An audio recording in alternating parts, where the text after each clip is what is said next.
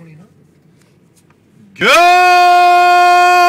Good morning. It is Magnus Hellberg here in Los Angeles with my daily dashboard update on February 28th. September.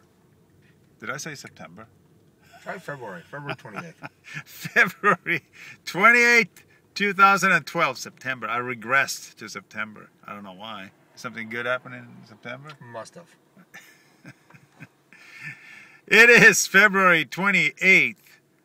And because of leap year, this is not the last day of the month. It is almost the last day of February. It is 48 degrees here in Topanga Canyon this morning. It was cold. It was frost on the car this morning. And uh, it was really, really cold last night. And, uh, well, it's 48 right now. That's about 20 degrees cooler than it has been in the last few days.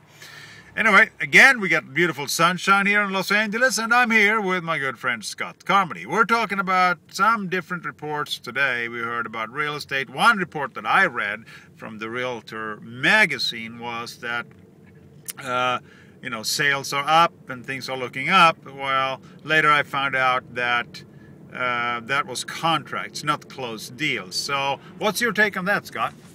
Well, contracts being up, I can totally understand because if every time an offer is written and submitted, it counts as a contract, there's a lot of offers being written. Most of them are lowball and don't go anywhere. A lot of them are on short sale properties that never come to fruition. So there's a lot of contracts being written, but I, I just I don't know. I don't know that that's an indicator, uh, frankly, of anything. That's my take on that part.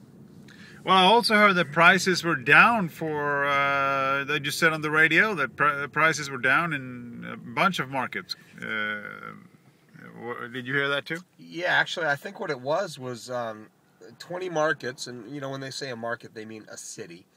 Uh, 20 markets um, surveyed. Uh, sales volumes were down in 18 of them for the month of December, and they said that was for the fourth year in a row. Um, so, you know, that's the, the, the freshest data they have for us. But I can tell you that it's a hell of a lot busier now than it was a couple months ago in December. Yeah, well, I actually had a, a pretty good December. I guess it depends a little bit, but uh, yeah, I mean, it sure feels busy. But uh, again, there's a lot of busy work, a lot of showings, a lot of this, a lot of that, offers written, like you said, low offers that doesn't go anywhere and so forth. But uh, here in Los Angeles, at least, it seems like we have pretty decent activity. It is also, speaking of activity, the open house day today. It's the Caravan in LA. We're going to go and look at a couple of things, I think. Uh, you want to see something specific specifically today, Scott? Yeah, Larry Young has got a new listing in the Westwood Hills for a million three sixty nine, I believe. I want to go see that. And uh, and I think Matthew O'Keefe has something on Glenroy, though it did not say that it was open today. But I'd like to, check and see if that's open as well. Also in uh, in Lower Bel Air.